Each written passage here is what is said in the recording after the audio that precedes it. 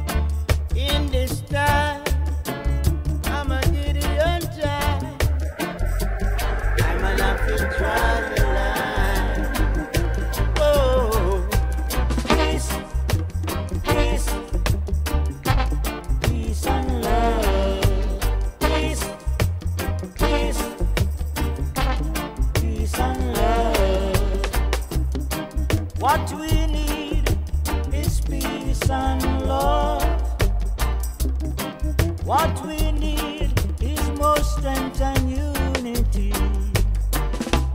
Too much destruction and too much war. If you don't know what you are fighting.